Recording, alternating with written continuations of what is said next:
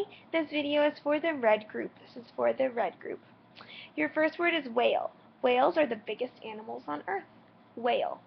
Your second word is mail. I love it when I get mail in the mailbox. Mail. Your third word is stay. Please don't leave home. Please stay home with me. Stay. Your fourth word is waist. I wore a belt around my waist. Waist. Your fifth word is grade. You are in the first grade. Grade. Your sixth word is throw. Why don't you throw me the frisbee? Throw. Your seventh word is phone. I like it when I get calls on my phone. Phone.